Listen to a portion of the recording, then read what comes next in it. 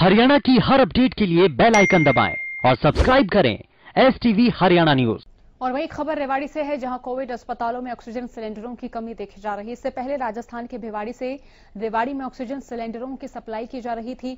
राजस्थान में भी कोरोना के बढ़ते मामलों को लेकर राजस्थान ने ऑक्सीजन सिलेंडरों की सप्लाई पर रोक लगा दी है।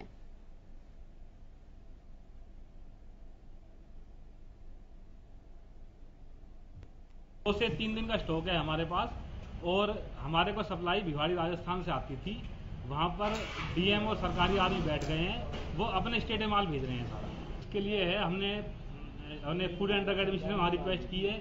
सिविल हॉस्पिटल में भी कल रिक्वेस्ट करिए जाके कि हमारे को गैस दिलवाई जाए ताकि हम अपने ज़िले की सेवा कर सकें।